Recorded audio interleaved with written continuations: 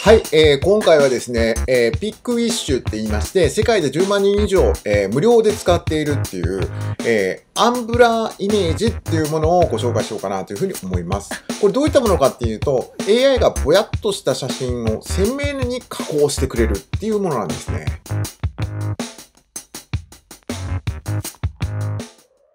はい、えー、こんにちは、こんばんは、カーゴンです。僕の経歴こちらです。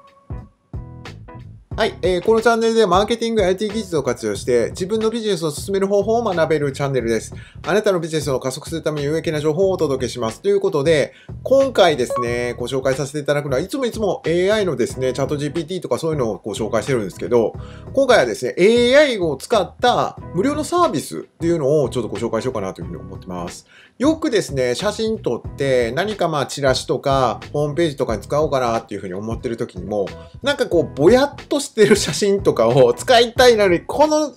写真ええのにっていう時があるかなというふうに思うんですね。で、そういう場合って、ほとんど、まあ、フォトショップとか使って、まあ、綺麗に加工したりとかってするんですけども、そもそもね、ぼやっとしてたりとかね、ガチガチになってたりとかするとね、なかなかね、ちょっとね、使いづらいなっていうところがあると思うんですけど、そんな時にですね、えっ、ー、と、このピックウィッシュっていうサイトのアンブラーイメージっていうやつを使うとですね、なんとぼやっとした写真が鮮明になってしまうという素晴らしいサービスを提供してらっしゃるものについてでご説明しようと思います。はい、今回こんな感じです。はい、アンブラーイメージについてっていうのと注意事項があって、で、その内容をお伝えするのと、で、登録と使い方をですね、実際にちょっとお見せしながらやろうかなというふうに思います。はい、えー、アンブラーイメージについてです。はい。こちらの方なんですけれどもね、先ほどから言ってます、 PicWish っていう、えー、サイトにですね、あるサービスの一つなんですね。で、この PicWish っていうものはですね、無料オンラインの写真や画像編集ウェブサービスを、えー、提供してる、えー、サイトでして、で、えー、画像の切り抜きとかですね、写真の消しゴムとかですね、えロスレス圧縮とかですね、で、AI を拡大したりとか、オンラインのトリミングなんかを、えーと、提供してる、えサイトなんですね。で、様々な企業がなんと無料で提供されてるっていうことなんですね。で、今回はこのピックウィッシュの中の一つ、アンブラーイメージって言いまして、写真高画質化っていうやつをちょっとやってみようかなというふうに思ってます。で、ここでちょっと注意事項がありましてね、やっぱりあの、無料っていうふうに言われてるんですけれども、やっぱりここ有料コンテンツに、まあ、あの、案内するような内容で、本気で使おうと思ってらっしゃる方はお金払わないといけないんですね。っていうこともあって、実は無料で登録すると、一番最初にクレジットがゲットできるんですね。この2クレジットっていうのを使って加工とかをやっていくみたいなんですけど、実はですね、この2クレジットなんですけど、これ、えっ、ー、と、実はダウンロードするのにクレジット必要なんですね。っていうことはですよ。っていうことは、つまりですね、まあ、あの、一つしかダウンロードできないわけなんですよ。うん。っていうことみたいなんですね。これちょっとね、いけてないじゃないですか。で、まあちょっとね、回避策っていうわけじゃないんですけど、まあそういう方法もあって、実は、あのー、誰かお友達にですね、登録してもらうと20ダウンロードゲットできるんですね。いわゆるあの40クレジットが、あのー、提供されるんです。だから友達と自分に40クレジットずつもらえるみたいなんですね。なんで、まあ、これを使えば、まあ、少しね、ある程度、なんかこんな感じなのかなっていうのは、ちょっとできるかなっていうふうに思いますし、試しでやってみる分にはね、十分多分これ使えると思うんです。で、まあ、僕みたいにですね、なんて言うんでしょう、こう、友達がいない場合、ってどうすんねんっていう話だと思うんですけど、まあ、あくまでも、まあ、あの、メール登録する感じでね、あの、メールで紹介しましたよっていうので、あの、20、まあ、あの、40クレジットもらえるみたいなんですね。なんでまあ、ちょっともし、まあ、複数メール持ってらっしゃる方はですね、まあ、あの、お友達、まあ、心のお友達ということで、あの、自分のメール2つぐらい使って、なんかこう、やり取りしちゃえばいけるのかなっていうふうに思いますんで、まあ、あくまでもちょっと推進してませんよ。まあ、あの、友達がいない方は、そんな方法もありますよっていうお話で聞いていただければいいかなというふうに思います。なので、ちょっとご注意ください。はい。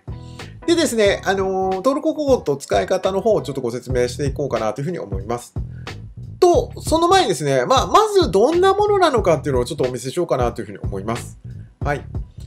まずですね、こちらの方なんですけど、あの、実はですね、こちら、えっ、ー、と、まあ、今年ちょっと亡くなったうちの父の若い頃の写真でして、で、まあ、あの、浮き輪持ってるのがね、実はあの、川子なんですね。はい。で、大昔の写真で、しかもこう、アップして、もう相当画像悪いんですね。で、これをね、ちょっとね、アップロードしてみたらどんな感じになるのかっていうのをちょっとね、やってみたんです。すると、こんな感じになります。はい。ちょっとね、なんかくっきりしてなってるんですけど、ちょっとな、なんやろ、こう、AI 感半端ないなっていうところあるんですけど、まあまあまあ、でも、ちょっとね、体のところとかがちょっとくっきりされてないんで、ちょっといまいちあれなのかなと思うんですけど、まあまあまあ、こんな感じの加工になるっていうことなんですね。はい。では、ちょっと実際に、ちょっとその、えー、登録しながらで、こう、アップロードしてやり取りするところをお見せします。はい。えー、ではですね、実際にちょっと、まあ、えー、サイトの方からちょっと見せ、見ていこうかなというふうに思います。まず、Google の検索でですね、えっ、ー、と、 PicWish って打ってください。そうするとですね、一発目にこうやって出てきます。えっ、ー、と、 PicWish AI 画像編集ツールっていうことで、で、ここのサイトにアクセスします。するとですね、こんな感じに出てきます。で、この中でですね、えっ、ー、と、ここにあります写真高、えっ、と、高画質化っていうやつがあるんで、それをクリックします。はい、こんな感じですね。で、えっ、と、この段階では一応画像の選択とダウンロードっていう風に出てくるんですけど、まだまあ、あの、えっ、と、登録してない状態ですね。で、登録をすると、これがまあダウンロードできたりとかっていう風にしていくんですけど、まあ、とりあえずですね、この画像の選択みたいな形のものをこうします。はい。するとこんな感じで出てきますんで、で、えっ、ー、と、僕が先ほどですね、選んでた画像との元画像みたいなのがあるんで、まあ、それちょっとこれ、えっ、ー、と、出してこようかなというふうに思います。もう選んだ段階でですね、もうこれで、えっ、ー、と、画像のなんか加工が始まってるんですね。はい、こんな感じです。で、えっ、ー、と、先ほどの画像ですね、確認するためには、こっちが、えっ、ー、と、処理前で、こっちが処理後っていうことなんですね。はい、こんな感じです。鮮明になってるの分かりますかね？えっとね、ちょっとね、拡大しないともしかしたらちょっと分かんないかなと思うんですけど、えー、っと、できるかな？えー、っと、無理かな？ちょっと無理かな？無理かな？はいはい。えー、っとですね、まあ、あのー、こんな感じで、えー、っとか、えチェックすることができるんですね。で、えっと、これを、まあ、じゃあダウンロードしたいなっていう場合ですね。で、ここのえーと、画像の保存っていうふうにするんですけど、でこれを保存ってやると、こんな感じで、えーと、ログインしてくださいねって出てきます。で、僕はもうあらかじめ登録してあるんで、えっ、ー、と、その、えっ、と、ログインのやつ、Google で続行みたいな感じで押すと、えっ、と、実際に僕のアカウントちょっと出てくるんで、カバゴン。はい。はい、こんな感じで、えっ、と、カバゴンで改めて入ると、えっ、とですね、もう一度ちょっとね、画像の加工から始まるみたいですね。なんで、一回ログインしてからやる方がいいかもしれませんね。はい。こんな感じですね。で、えっ、ー、と、まあ、これで処理を、処理前みたいな感じで確認しておいて、まあ、でもこの後ろのね、この、なんでしょう、岩場の部分とかもちょっとくっきりしてる感あるんですけどね。はい。なんか、実際にはこんな感じでぼやーっとしてるんですけど、これちょっと鮮明な感じになっていくのかな。みたいな。あ、後ろのこの、ね、お、おね、お姉さんじゃねえな。あの、もう、当時お姉さん の人もね、結構肌とかも綺麗になってるんですよ。で、まあ、あの、こんな感じで確認した上で画像の保存っていう風にします。すると、こんな感じで出てきますんで、えっと、この段階で、はい、保存が始まります。で、これで保存って押すと、はい、これで保存できましたっていうことで、ちょっと待ってくださいね。はい、保存できましたっていうことで、こんな感じで出てきました。はい、これです。はい。どうでしょうね、こう、元の、元のやつと比較した方がいいかな、これ。えっ、とね、元のやつが、これなんです。はい。元のやつがこれですね。まあ、はっきりね、このお姉さんのところとか見てもらったら、ここ、くっきり、お姉さんじゃねえな。もうくっきりしてる感じのところが分かりますかねこれね。はっきりしてると思うんですよね。で、まあ実際に、まあ、えー、っと、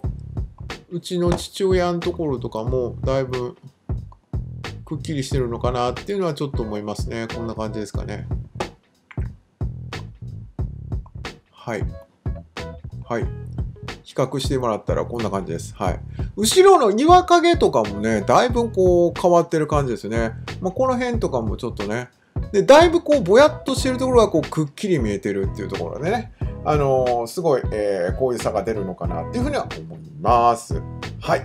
えーとですね、今回はですね、こういったような紹介をさせてもらいました。これ結構ね、あの他にもいろいろ、えーとツールがあるんで、それもちょっとご紹介していこうかなというふうに思います。はい。なんで、まあ、こんな感じで、えー365日毎日、えーと動画の方投稿しております。皆様のお役に立つような動画、え投稿しておりますので、もしよかったらまた見てください。はい。ありがとうございました。